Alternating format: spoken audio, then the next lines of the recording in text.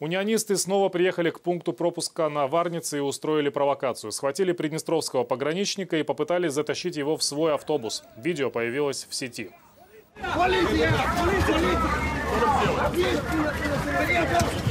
Унионисты выхватили приднестровского пограничника, который стоял на приднестровской стороне в живой цепи. Группа из трех человек в желтых майках применила силу и утащила человека в форме в толпу на молдавскую сторону. В ситуацию вмешались другие пограничники, оттащили товарища обратно. Рядом были российские миротворцы. Они встали между сторонами. Позже приехали наблюдатели от ОБСЕ. За несколько секунд до инцидента с пограничником один из акционистов попытался прорваться на территорию Приднестровья. Все это снимало несколько камер на границе, много молдавских журналистов и правоохранителей.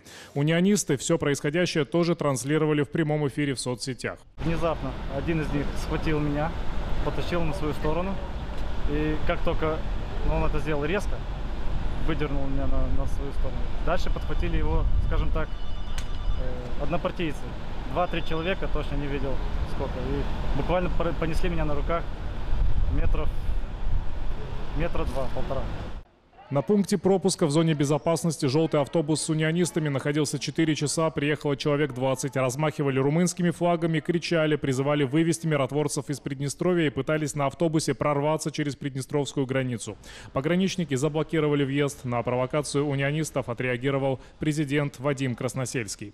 Приднестровские пограничники на правовых основах стоят на страже законности и правопорядка. Они выполняют служебный и человеческий долг, обеспечивая безопасность граждан. Призываю прибывших к приднестровской границе с румынскими флагами псевдопатриотов непонятно какой страны не раздувать конфликт. Искра способна разжечь пламя. Прошу прекратить любые провокационные проявления, написал президент.